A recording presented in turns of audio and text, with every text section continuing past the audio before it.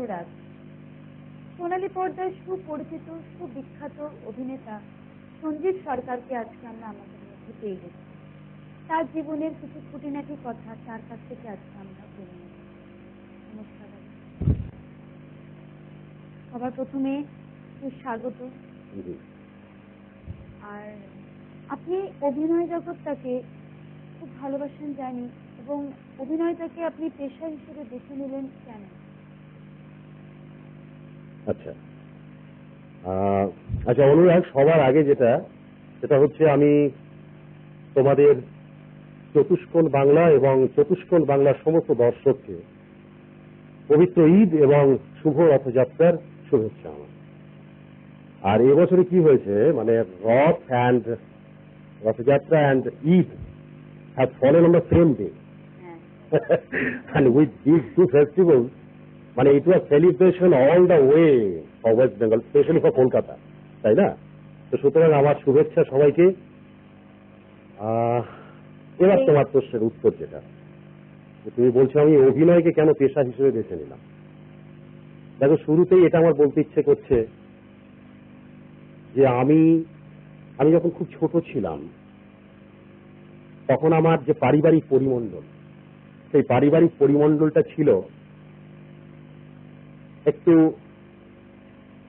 Culturally develop একটা সাংস্কৃতিক পরিমণ্ডলের মধ্যে আমি বড় হয়েছিলাম।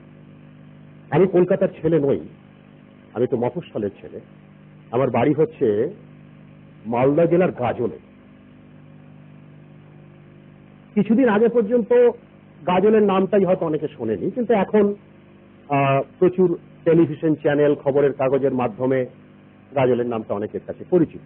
কিন্তু সেই সময় গাজলের নামটাও অনেকে শোনেনি সেরকম একটা জায়গা থেকে আমি এসেছিলাম।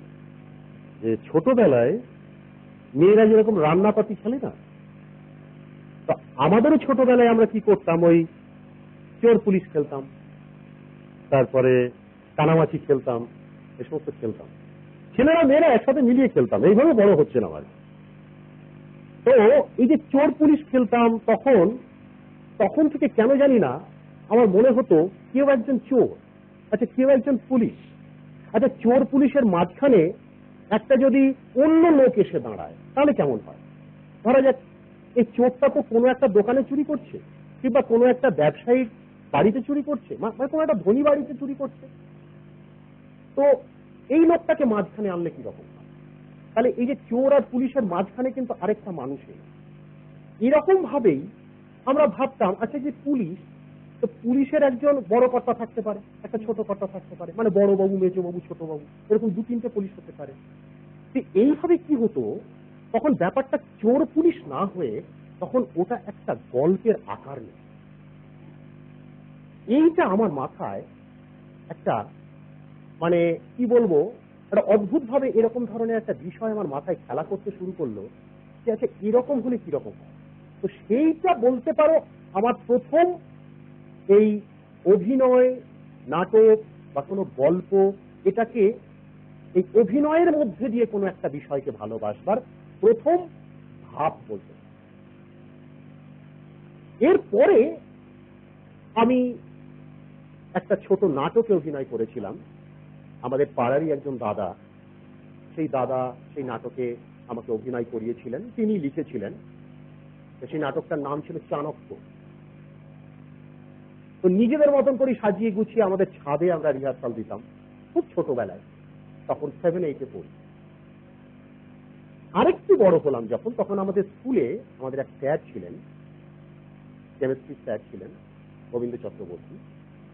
তিনি আমাদের কি করলেন, তিনি আমাদের স্কুলের ছেলে মেয়েদেরকে নিয়ে ওই সরস্বতী পুজো, রবীন্দ্র জন্ম জয়ন্তী এই সমস্ত বিভিন্ন অনুষ্ঠানে উনি আমাদের ছোট ছোট নাটক আমাদেরকে নিয়ে করতে শুরু করলেন এইটা বলতে পারো আমার দ্বিতীয় ধাপ, যেখানে আমি আরেকটু এটার সাথে যুক্ত হতে শুরু করলাম। তারপরে মাধ্যমিক পরীক্ষা পাশ করবার পর ওই গোবিন্দদা মানে গোবিন্দ চক্রবর্তী এবং আমরা আমাদের কয়েকজন বন্ধু বান্ধব মিলে একটা নাট্য সংস্থা ফর্ম করলাম, দিশারি নাট্য সংস্থা।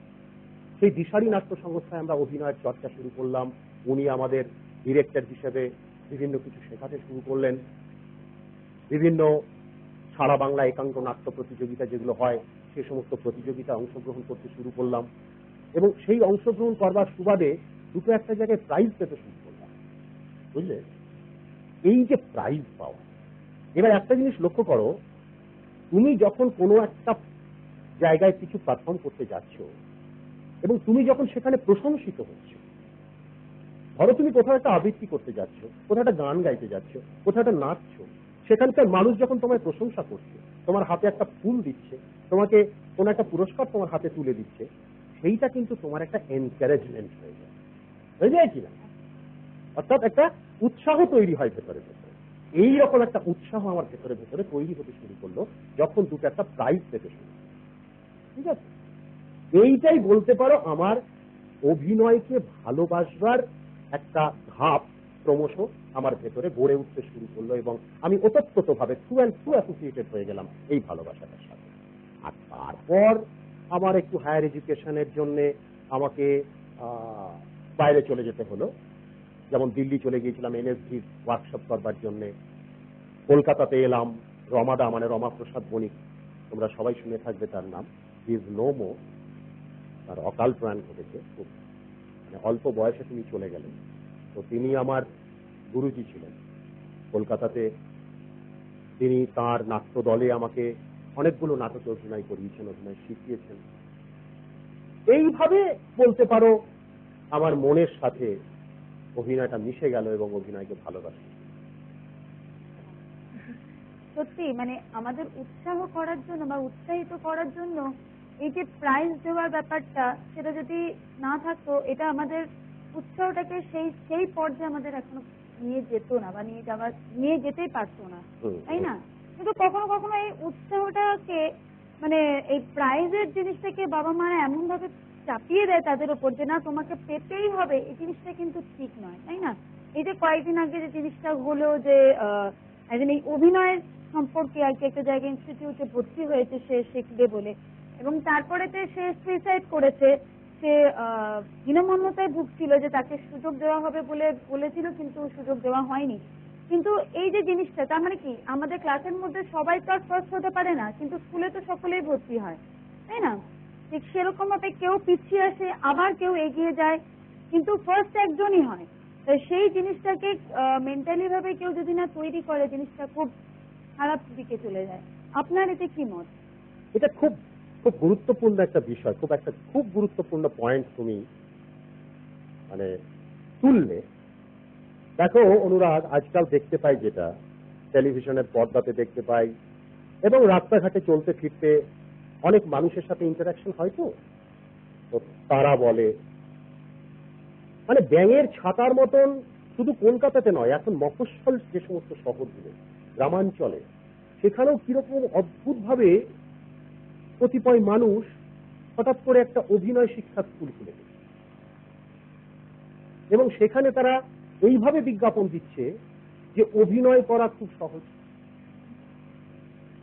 ডায়লগ বলতে পারলি সুযোগ।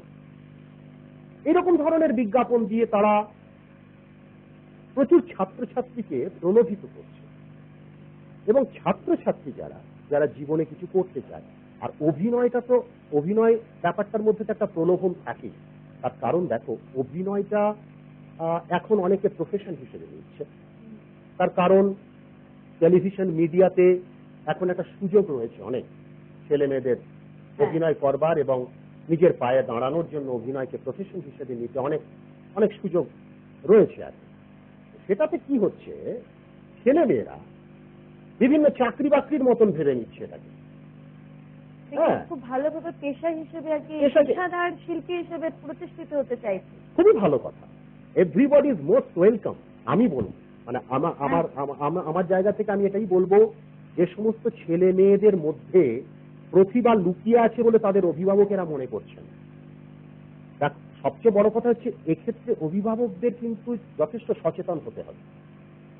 আমি আমার বাড়িতে আমার যে শিশুটি যে নবজাতক তার মধ্যে তার চলাফেরা তার কথাবার্তার মধ্যে কিন্তু মোটামুটি বোঝা যায় যে সে- ঠিক কি হতে চায় সে সে কি হতে পছন্দ করে। এটা কিন্তু বোঝা যায়। নিজের মতামতটা আমরা যেটা ভুল করি আমরা আমাদের অভিভাবকরা আমাদের নিজেদের মতামতটা আমাদের সন্তানদের উপরে চাপি।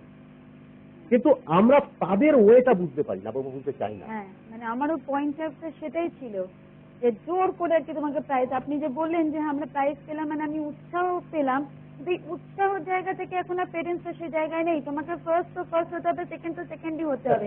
কিন্তু পাসও তো কেউ করে এটা খুব দুর্ভাগ্যজনক খুব হাস্যকর। মানে এটার কোনো মানেই হয় না। তবে হ্যাঁ অনেক অনেক অভিভাবক এখন সচেতন হচ্ছেন সেটাও। কিন্তু তুমি যে কথাটা বলছিলে যে একটি ছেলে হ্যাঁ আমিও দেখলাম এই এই তো দিন চার পাঁচেক আগে কোন একটা চ্যানেলে দেখছিলাম যে একটি ছেলে আত্মহত্যা করছে। এটা সত্যি খুব খুব, তখন খুব অসহায় লাগে নিজেকে। একজন অভিনেতা তো আমি, অভিনয়কে ভালোবাসি। তো তখন মনে হয় যে একটি ছেলে অভিনেতা হতে চাইছে, তার স্বপ্ন হচ্ছে সে অভিনয় করবে। এবং সে যখন একটা ইনস্টিটিউট থেকে এইরকম অ্যাসুরেন্স পাচ্ছে যে সে নাকি সুযোগ পাবে, এবং তার বিনিময়ে সে অনেকগুলো টাকা তাদের দিচ্ছে। কিন্তু ফলস্বরূপ সে কিছুই পাচ্ছে সে হয়তো অভিনয়টা করতে পারতো না সেটা অন্য কথা, কিন্তু তাকে যেহেতু বলা হয়েছিল একটা সুযোগ দেবে, তাহলে একটা সুযোগ তাকে দেওয়া উচিত ছিল।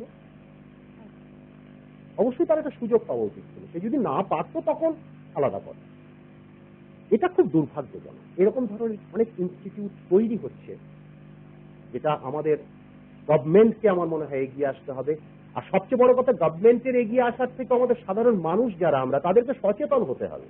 যে অভিনয়টা কিন্তু আর পাঁচটা দ্রব্য বস্তুর মতন নয়, যেটা আমি সঙ্গে করে কিছু টাকা নিয়ে একটা দোকান থেকে যেরকম আমি কিনি কিনা, একটা সাবান কিনি, একটা টুথপেস্ট কিনি এরকম ভাবে আমি অভিনয় কিনতে পারি না। অভিনয়টা কেনা যায় না। এটা একটা এমন সত্তা যেটা তোমার অভ্যন্তরে থাকে। এটা ঈশ্বর জ্ঞান তুমি অনুশীলনের মাধ্যমে সেটার সেটার প্রকাশ ঘটাতে পারো, তার বিকাশ ঘটাতে পারো। কিন্তু যে সত্তাটা তোমার মধ্যে নেই, সেটা তোমাকে আরেকজন কি করে এনে দেবে? তোমার হাতে কি করে তুলে দেবে? সেটা দিতে পারেন না, সেটা হয় না। সুতরাং এটা জানতে হবে যে অভিনয়টা কিন্তু শেখা যায় না। অনুশীলন একটা অভিনয়ের পার্ট এইটা আমার মনে হয় খুব ইম্পর্টেন্ট যেটা আমাদের বুঝতে হবে, জানতে আচ্ছা আপনাকে তাহলে কি কি সমস্যার এবার সম্মুখীন হতে হয়েছিল? এই যে এরকম, এই পথটা নিশ্চয়ই সোজা ছিল না, কঠিন? এবং এই কঠিনতার মধ্যে আপনাকে কি মানে সমস্যার সম্মুখীন হতে হয়েছিল? দেখো, সমস্যার সম্মুখীন বলতে এখন আমি যেটা ভাবি, এখন আমি যেটা ভাবি সেটা হচ্ছে কোনো কিছু অর্জন করতে হলে, কোনো কিছু অর্জন করতে হলে তোমাকে সহজ রাস্তায় সেটা পাওয়া যাবে বলে আমার বিশ্বাস।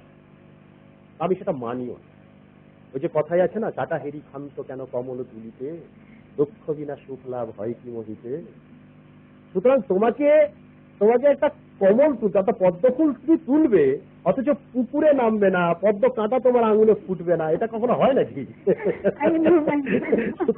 তোমাকে কিছু পেতে গেলে তোমার তোমাকে তো কিছু স্যাক্রিফাইস করতে হবে। তো সেটা কি? সেটা হচ্ছে তোমার অধ্যাবসা তোমার ওই যে ডেস্টিনেশনে যাওয়ার ওই যে লক্ষ্যে পৌঁছানোর যে অসীম সাহস শ্রম আর সব থেকে বড় কথা হচ্ছে সততা। এইগুলো নিয়ে, এগুলোকে সঙ্গী করে তুমি যদি এগিয়ে যাও, তারপরে তো বাদ বাকিটা তোমার ভাগ্য। এটাও এরকম অনেক মানুষ আছে, হয়তো অনেক চেষ্টা করছেন, অনেক পরিশ্রম করছেন, তবু হয়তো একটা জায়গায় যেতে পারছেন সেই জায়গায় হয়তো কিছুটা ব্যাপার থাকে। তো আমার ক্ষেত্রে আমি এখন এটা মনে করি যে আমার জন্য এইটুকু বরাদ্দ ছিল, তাই এটুকু পেয়েছি। এবার আগামীতে আর কতটুকু কি পাবো বা কি পাবো না?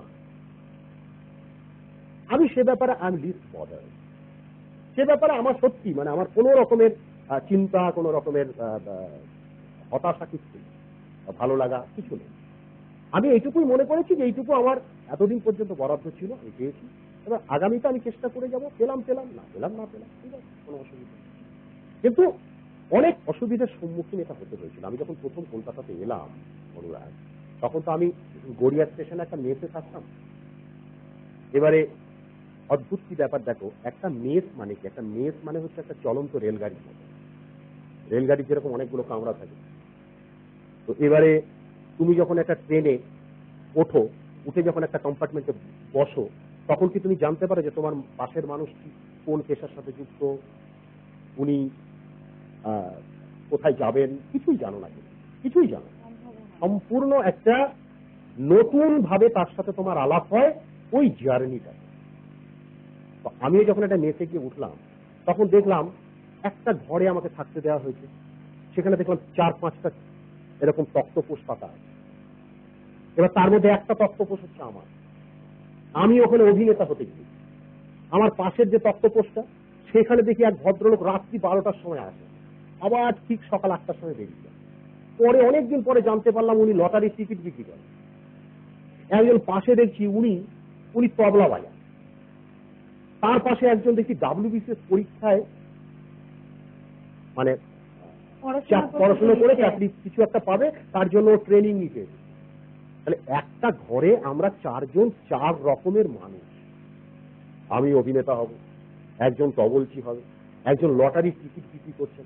মানে পাছে নিজের টিকিটেও নিজেরই কিছু লেগে যায়। আর আরেকজন আর আরেকজন উনি ডাব্লিউবিসিএস অফিসার হবেন। মানে এরকম প্রতিচ্ছবি বোধহয় প্রত্যেকটা মেসেতেই দেখা যায়। এ মানে প্রত্যেকে আলাদা আলাদা প্রফেশন থেকে বিলং করে কিন্তু একসঙ্গে এক জায়গায় থাকে। তো তখনকার দিনগুলোতে আমার সত্যি খুব কষ্ট হতো, এরকম অনেক দিন গেছে যে আমার চোখের জলে আমার বালিশ ভিজে গেছে। রাত্রেবেলা ভাবতে ভাবতে এইসব যে আমি কি করলাম, আমি অত দূর থেকে আমার বাবা, মা, ভাই, বোন, আমার আত্মীয়, পরিজন বন্ধু বান্ধব এমনকি আমার পেশা, অর্থাৎ আমি তো অঙ্ক করাতাম, আমার প্রচুর স্টুডেন্ট ছিল। দেশের বাড়িতে। ওখানে ওই ক্লাস নাইন টেন ইলেভেন টুয়েলভের ছাত্রছাত্রীদের অঙ্ক পড়াতাম তো তার বিনিময়ে কিছু পেতাম, পারিশ্রমিক হতো আমার। তো সে সমস্ত সব কিছু বিসর্জন দিয়ে আমি যে অভিনেতা হব বলে কলকাতায় পাড়ি দিলাম, আর এখানে এসে আমি প্রত্যেকদিন রাত্রিবেলায় বসে বসে কি করছি, আমি কি ভাবছি? যে আমার জীবনটা কি রসাতলে গেল নাকি? আমার মাঝে মাঝে মনে হতো যে I should be back to my residence আমি ফিরে যাব বাড়ি। এরকম আমার অনেকদিন মনে হতো। কিন্তু মনের মধ্যে সেই সাহসটা ছিল, বুঝলে? একটা কোথাও যেন আমার বোধহয় জেদ কাজ করছিল সেই সময় ফলে ওই রমাদা, রমাপ্রসাদ বণিক যিনি আমাকে, আমার একটা নাটকের সুযোগ দিলেন, অন্তর্বাহী সেই নাটকটার নাম ছিল। সেই নাটকে আমি একটি চরিত্র পেলাম। যে চরিত্রটা বলতে পারো সেই সময় বাংলার যে সমস্ত বড় বড় পরিচালকেরা রয়েছে আমাদের ফিল্ম এবং টিভি সিরিয়ালে সেই সমস্ত পরিচালকেরা সেই নাটকটা দেখতে গেলেন, আমাকে চিনলেন আমার সম্পর্কে তাদের জিজ্ঞাসা তৈরি হলো আমার সাথে আলাপ করলেন তারপর তাদের টিভি সিরিয়াল কিছু ফিল্মে আমাকে সুযোগ দিলেন। এটা বলতে পারো আমার একটা প্রবেশদ্বার ওই নাটকটা আমার জীবনের একটা প্রবেশদ্বার। আর তারপরে এই যে এই যে যুদ্ধ বা লড়াই বা স্ট্রাগল যেটা বলছে সেটা এখনও চলছে। এটা নয় যে আমার স্ট্রাগল থেমে গেছে। তো মানে মানুষ মাত্রই স্ট্রাগল করে আমাদের এগিয়ে যেতেই হবে। এই পৃথিবী মানে এটা দেখো আমাদের তো আর কোনো ফিক্স রোজগার কোনো মাসে কিছু হয় না। যখন যে মাসে কাজ করি যতদিন কাজ করি তার বিনিময়ে আমরা একটা রেমুনারেশন এই রকম। তো এটা জেনে বুঝেই এই প্রফেশনে আমরা এসেছি। অভিনয়কে ভালোবেসেছি এটা জেনে বুঝেই। সুতরাং ঠিক আছে চলো কেপি চাপ আমরা সবাই জানি যে আপনি খুব সুন্দর আবৃত্তিও করেন। এরকম মানে ব্রততী রয়েছেন ব্রত দিদি তার মতন আপনি আবৃত্তি কারও কত হতে পারছেন হঠাৎ অভিনয় এখানে একটা কথা বলতে হয় দেখো। অভিনয় হচ্ছে এমনই একটা কলা। যে কলাটা হচ্ছে সমস্ত কলার একটা একটা সংমিশ্রণ। সংমিশ্রণ তো বটেই। মানে কালেকশন অফ অল আর্ট সমস্ত কলা যেখানে মিশছে একজন অভিনেতাকে তুমি যদি মনে করো সে শুধু অভিনয়টা করবে। অভিনয় মানে তো শুধু ডায়লগ বলা নয়। কখনো কখনো তোমাকে দু লাইন গান গাইতে হতে পারে। কখনো কখনো কোনো একটা মিউজিকের তালে তোমায় নাচতে হবে। সেই নটি বিনোদিনী তাদের আমলেতে তখন তারা নিজেরাই গান গাইতেন কিন্তু পেশাদার গায়ক বা গায়িকা কেউই ছিলেন না। তো সুতরাং এই আবৃত্তি যেটা তুমি বললে এই আবৃত্তিটা কিন্তু অভিনয়েরই একটা পার্ট অভিনয়ের একটা পার্ট মানে অভিনয় করতে গেলে তোমাকে তো আবৃত্তি জানতেই হবে। সুতরাং আমি আবৃত্তি, দেখো, আমি তো আবৃত্তি কোথাও শিখিনি। কিন্তু আবৃত্তি আমার মানে ইচ্ছে করে কি মানুষকে একটু কবিতা শোনায়। এখন সেটা আবৃত্তি হয় কি হয় না সেটা তো অন্য কথা। আমার ইচ্ছে করে কোনো একটা কবিতা পড়ে ভালো লাগল, ইচ্ছে করল, বাহ, এটা আমি যখন ভালো লাগল, সেই ভালো লাগাটা তো পাঁচটা মানুষের সাথে শেয়ার করতে ইচ্ছে করে। তো সেই রকম আমি তো শেয়ার করি। দশটা মানুষ শুনছে আমার কথা আমার সেই কবিতাটা সেটা আমার একটু ভালো লাগে। এই আর এবার সেটাই কখনো কখনো অভিনয়ে প্রয়োগ করতে হয়। কোনো একটা অভিনয়ের এরকম একটা ধারা থাকতেই পারে যেটা হয়তো কাব্যিক। যেমন তুমি নটি বিনোদিনী আমাদের পুরনো দিনের যে সমস্ত যাত্রা বা নাটকের কথা হ্যাঁ। বা আলোচনা যদি করো তাহলে সেখানে দেখতে পাবে সেখানকার সংলাপগুলো খুব কাব্যিক। ঠিক আছে? অনেকটাই। অনেকটা কাব্যিক। তো সেই কাব্যিক যে সংলাপগুলো, সেগুলোকে বলতে গেলে তোমাকে তো কাব্যের ওপরে একটা একটা দখল, একটা ধারণা থাকতে হবে, তাই না? সুতরাং এগুলো সবই একে অপরের সাথে খুব ওতপ্রোত ভাবে যুক্ত। আপনি অনেক ধরনের আপনাকে চরিত্রে অভিনয় করতে দেখা গেছে, কখনো বা সৎ পুলিশ অফিসার হিসেবে, তো কখনো বা ভিলেন হিসেবে।